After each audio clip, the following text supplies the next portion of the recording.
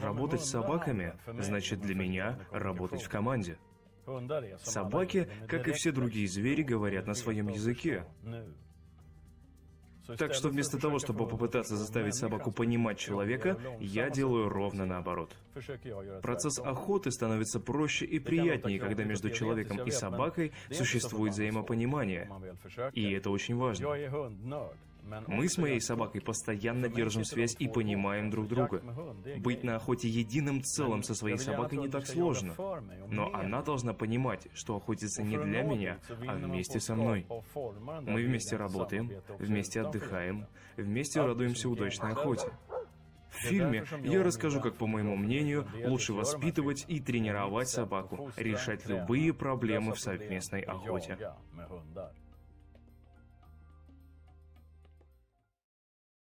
Сейчас я выпущу молодую шведскую лайку по кличке Орка. Она уже охотилась на кабана в естественных условиях. Однажды с ее помощью в лесу застрелили хряка, но она еще никогда ранее не бывала в кабаньих угодьях. Угодья дикой свиньи. Часть первая. Есть две причины, по которым я приехал сюда. Первое состоит в том, что я хочу немного поработать в команде, а шведские лайки как раз известны своей самостоятельностью. Так что я смогу поработать над развитием у собаки чувства контакта со мной. Но есть и еще одна причина, по которой я здесь. И она заключается в том, что я уверен, мы обязательно встретим кабана. Здесь, в этом хозяйстве, облюбовали себе место многие представители свиного семейства. Их здесь так много, что я точно знаю, нам сегодня кто-нибудь попадется. У этих угодий огромная территория, и все здесь приспособлено для дрессировки собак и охоты. Но сейчас дует ветер, а вокруг обитает сотни кабанов с сильным запахом. Это может сбить с толку молодую лайку. Орка взяла след, и сейчас мы движемся вглубь охотничьих владений. Очень важно следовать за собакой строго по направлению ветра, чтобы, во-первых, она не потеряла след, а во-вторых, чтобы она была готова сразу погнаться за зверем. Дикие свиньи здесь очень сильно пахнут, так что необходимо дать собаке немного времени взять след конкретного зверя. Поэтому, если вы находитесь в подобном месте с повременной оплатой, вы должны рассчитывать на то, что собаке потребуется больше времени, чтобы взять след. Лучше дать собаке возможность для одной удачной погони, одной удачной попытки поймать свинью. Множество целей сбивает собаку с толку и делает для нее условия охоты более напряженными, а вам труднее ее найти.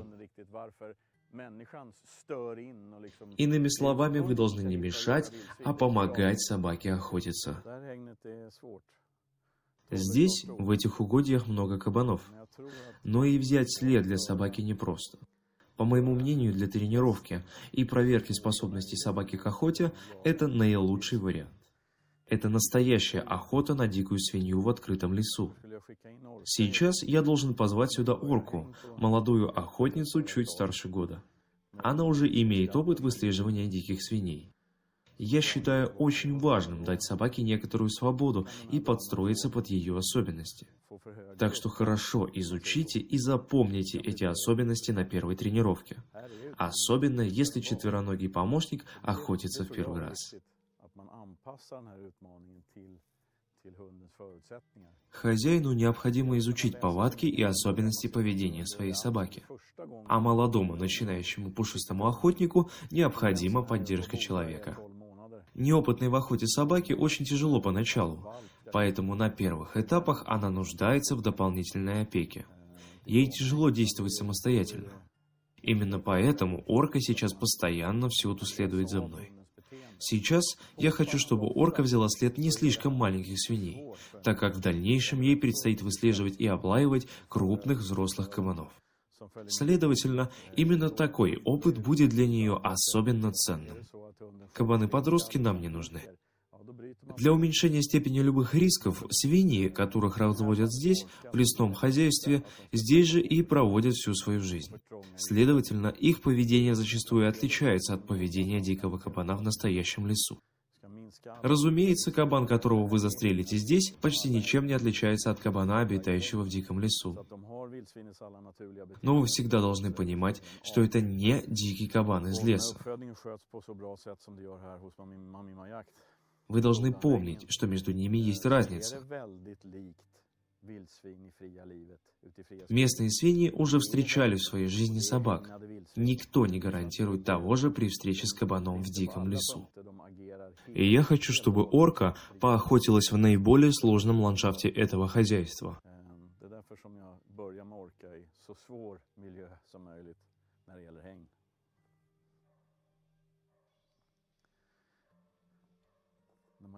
Во время охоты с молодой собакой вроде орки, тем более при хороших взаимоотношениях с человеком, есть опасность гиперопеки с вашей стороны. Вы, например, рискуете подойти слишком близко к свинье и спугнуть ее. А в условиях настоящего леса кабаны гораздо опаснее, чем здесь. Так что соблюдайте баланс и дистанцию. Смотрите за собакой, идите следом, изучайте ее реакцию, будьте рядом, но не ходите за ней по пятам. Не держитесь к ней слишком близко. Прошло некоторое время. Я слышал лай. Орка вышла на небольшое стадо, и ей, судя по всему, понравилось за ним бегать. Сейчас нужно быть сверхосторожным и строго следить за направлением ветра, чтобы двигаться против него. Я не хочу нарваться на кабанов. Чтобы не мешать собаке работать, я должен быть тих и незаметен.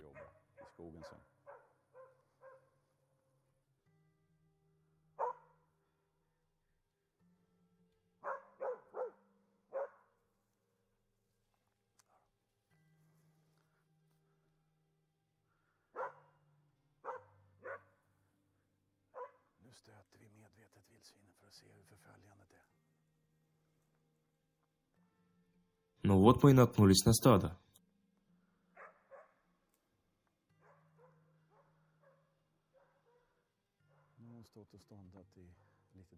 На это у нас ушло чуть больше часа. Это довольно много для такой теплой погоды. Сейчас необычно тепло для сентября. Пойду посмотрю, как там дела у орки. Собаки здесь не часто охотятся на свиней, потому что эта территория скорее тренировочная. Она к тому же очень большая, с довольно трудным для собак ландшафтом.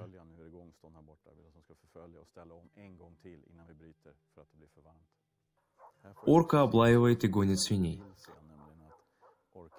Я хочу, чтобы она следовала за ними еще какое-то время, и мы успели еще разок побегать, прежде чем она устанет. Собака все делает абсолютно правильно. Она держится на правильном расстоянии позади зверя, гонит его с правильной скоростью и постоянно облаивает стадо. Это очень правильно для лаек, да и вообще для собак, которые охотятся подобным способом. Риск, правда, тоже высок, так как в дикой природе кабан ведет себя менее предсказуемо, чем в охотничьем хозяйстве. Охота подобным способом в диком лесу потребует большего контроля со стороны человека – Кабаны исчезли из виду. Видимо, это очень крупный хряк. Лесные кабаны отличаются от здешних по размерам, так как на охраняемой территории они могут достичь более зрелого возраста, а значит и более внушительного размера. Лай орки говорит о поведении кабана. Оно спокойное, судя по лаю. Орка учится контролировать животное, и такая тренировка делает из собаки охотника-профессионала и улучшает ее результаты. Когда в лесу начнется сезон, у нас с Оркой будет много возможностей для охоты на хряка. Поэтому сейчас я ее активно тренирую, смотрю, насколько она вынослива, слушаю сигналы, которые она подает, наткнувшись на зверя, смотрю, насколько она самостоятельна. Так что тренировки в угодьях особенно хороши для шведских лаек, которым скоро предстоит охотиться в реальных условиях дикого леса.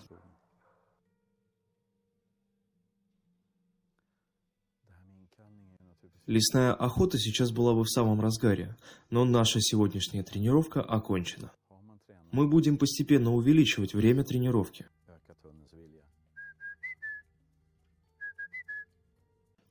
Орка работала чуть больше полутора часов, но сейчас она устала. Я слышу это по все более редкому лаю, и я вижу, что она не в состоянии держать дистанцию со зверем.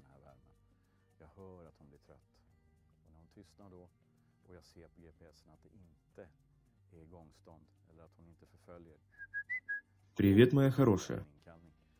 Ты очень способная. Ко мне. Ты хорошо поработала. Сейчас нужно идти к машине и ехать отдыхать.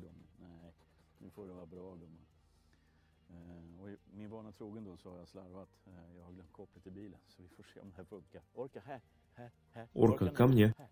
Ко мне. Моя собака очень устала. Так что наступила моя очередь поработать. И я несу ее к машине.